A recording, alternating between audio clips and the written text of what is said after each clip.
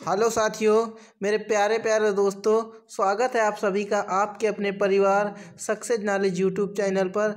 दोस्तों, आज मैं आपको बेस्ट ऐसे ऑब्जेक्टिव क्वेश्चंस फिजिक्स के दस बताऊँगा, जो आपके एग्ज़ाम पर बार बार रिपीट किए जाते हैं और बार बार पूछे जाते हैं। आपके सामने वीडियोज़ बनाऊँगा, इसी प्रकार आप देख सकते हैं, पढ़ भी सकते हैं। इनमें मैं आपको ज़्यादा कुछ डिटेल समझाने वाला नहीं हूँ। अंत तक वीडियो को देखना, लास्ट में आपको वीडियो के अंत में मैं या बीच में एक जानकारी दूँगा, जो कि आपके लिए बहुत ही हेल्पफुल होगी और आपसे कुछ डिस्कस करूँगा। तो दोस्तों फ़र्स्ट क्वेश्चन यहाँ पर जो मैंने लिया है, वह लिया है, प्रेरित वैद्युत धारा का पता चलता है। तो दोस्तों, जो लेंज के लेंज का नियम होता है, उसी से हम प्रेरित विद्युत धारा का पता लगा सकते हैं। इसलिए ऑप्शन में मैंने उत्तर में लिख दिया है, लेंज का, लेंज के नियम द्वारा। तो ऑप्शन इसका क्या सही है? लेंज के नियम द्वारा। फिर मैंने सेकेंड क्वेश्चन ये लिया है कि प्रेरित विद्युत धारा का पता चलता है।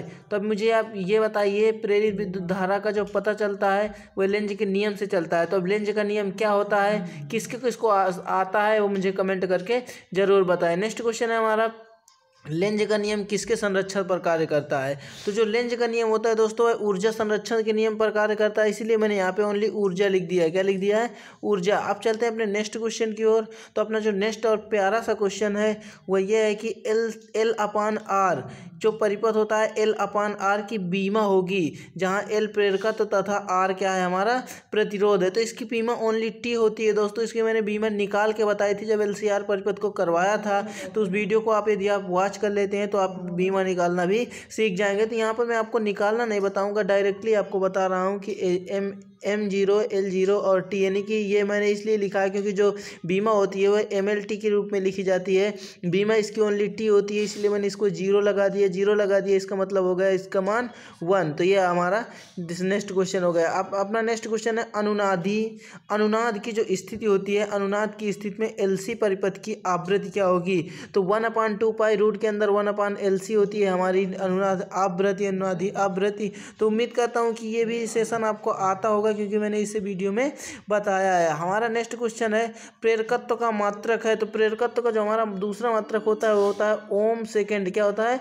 ओम सेकेंड वैसे तो प्रेरकत्व का मात्रक हेनरी हम लोग यूज़ करते हैं, परंतु यहाँ पे ओम सेकेंड मैंने लिया है ताकि आपको ये भी मात्रक पता चल जाए। नेक्स्ट क्वेश्चन हमारा एल सी पर एल सी तथा आर क्रमशः प्रेरकत्व धारिता प्रतिरोध व्यक्त करते हैं। क्या करते हैं? प्रतिरोध तथा धारिता व्यक्त करते हैं। तो उसके लिए फार्मूला क्या होता है? तो सी अपान एल होता है। क्या होता है दोस्तों? सी अपान एल होता है। नेक्स्ट क्वेश्चन है हमारा। वन अपान रूट के अंदर म्यू नाट इंटू एफ़ साइलेंट नाट का मात्रक है तो मीटर पर सेकेंड वेग के बराबर होता है। किसके दोस्तों? वेग के मात्रक के बराबर होता है। हमारा जो नेक्स्ट क्वेश्चन है, वह यह है दोस्तों।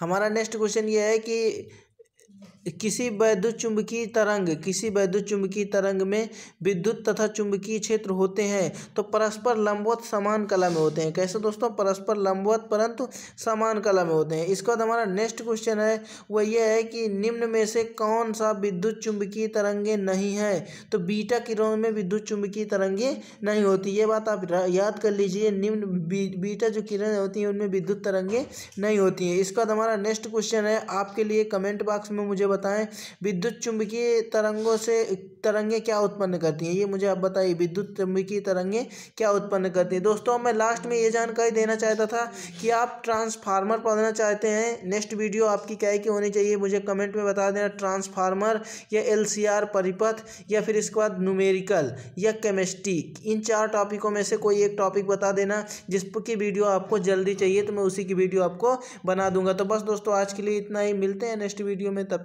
के लिए जय हिंद।